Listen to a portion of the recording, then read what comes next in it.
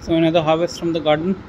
Um, it keeps on producing although i look at other gardens who spend more dedicated time who have a better control on the fertilizer and soil and all and they produce more. But it's all a learning curve. We'll get there. And i'm hoping all of you will be part of this process as i get there as i improve my gardening skills terrace gardening skills. Uh, i will keep on sharing them and i'm assuming i'm hoping that you folks will follow along with me so the majority of the produce stem is spinach. It's i have put it in a flat thin uh, flat not very deep um, dish uh, grow back dish kind of thing. And that's all that grows there. Uh, the summer was had hit it a bit hard but with the rains and monsoon it's getting better. And some okra and some bitter gourd. These bitter gourds even though very healthy they don't look so healthy right now because uh, they're not growing to their full, full potential. They're turning yellow very quickly.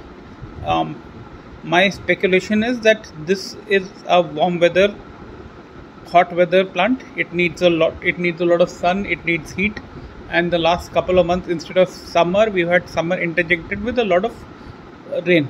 That i think is causing problems to this. I'm hoping that uh, there will be periods when it will be better and we'll get more of these.